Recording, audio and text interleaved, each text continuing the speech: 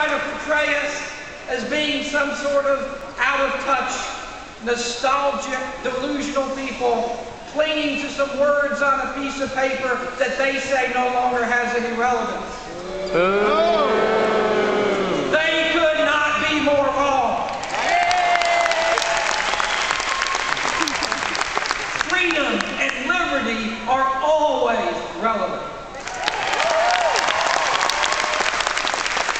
And we understand that we look to our founding fathers for reminders that freedom, as stated in our Declaration of Independence, is a God-given right based on free will to which we are entitled.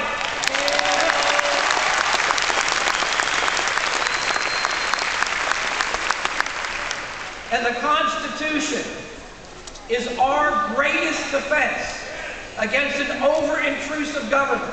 Yes. It is our greatest defense against tyranny. And it is our greatest defense to preserve liberty in this country.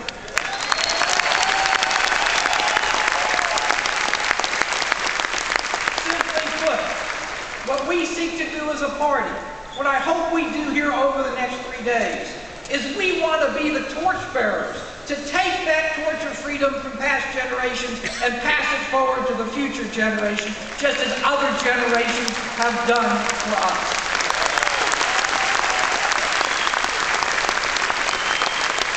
We understand that this party doesn't stand for anything else, it stands for liberty.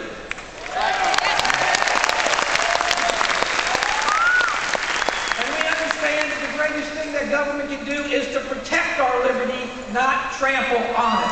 Yay! And then unleashed, liberty can be one of the most powerful forces in the universe. When you release somebody's innovation, their creativity, and put that together as a society, you get the United States of America. And liberty has made this country the greatest country in the history of mankind. An old cowboy once said, no brag, just fact. It is an undeniable fact that this is the most powerful, strongest country in the history of civilization. We have the largest economy ever. We're three times the size of that other country, China, they like to talk about. We're five times the size of the Soviet Union. We're a quarter of the world's economy. And what liberty has given mankind is an innovative society that has invented the airplane, the television, the telephone, cured polio, put a man on the moon, even given us Facebook.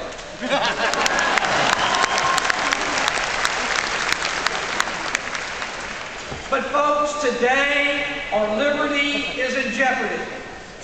The greatest threat to our liberty today is the Democratic Party of the United States and their.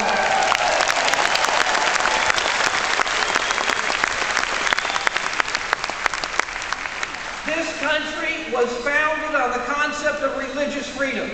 People coming here so they could practice their faith without government interference.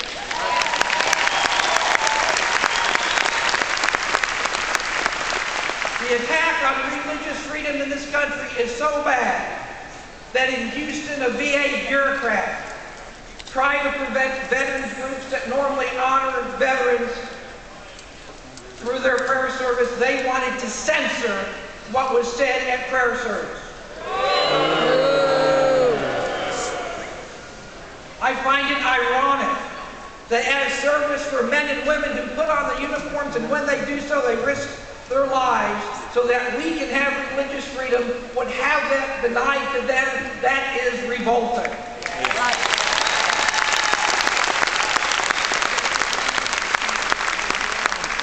We have an administration that is trying to tell the Catholic Church that they can't have their faith-based policies and try to force them on policies to which their moral conscience will not allow them to yield. And they should not yield.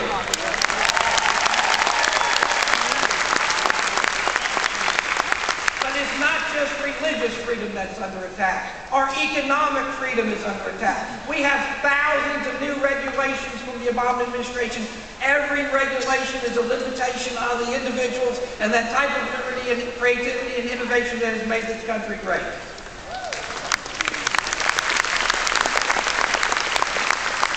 A very short time, there's going to be a massive tax increase.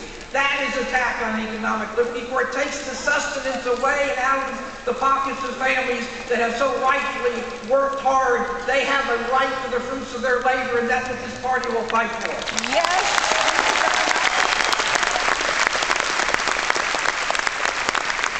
There is no greater example of the intrusion of government than Obamacare.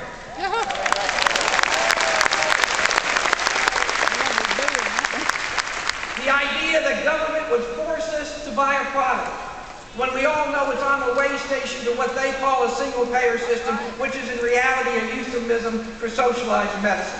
Mm. Our freedoms are under attack.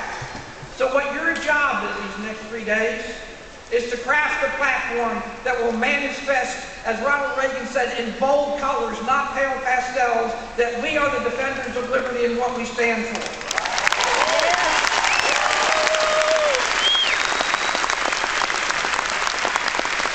It is your job to pick officers that will best represent what you believe. Now, we may not always agree who the best people are, and we may argue over a plank here or there. That's okay. Debate's good, so long as you're civil and kind to each other. Because we must come out of this convention unified.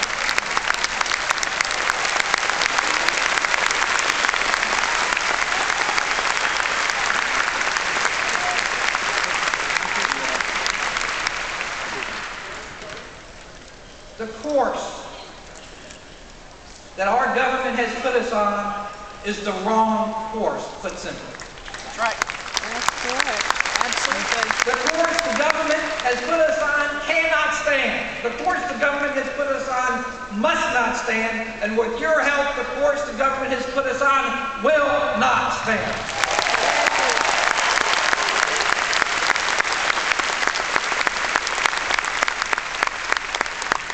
Our task over the next three days is to chart a new course for this country, one that is illuminated by liberty. And if we do that, together, we will turn this country around, take our country back, and make it great again. Thank you.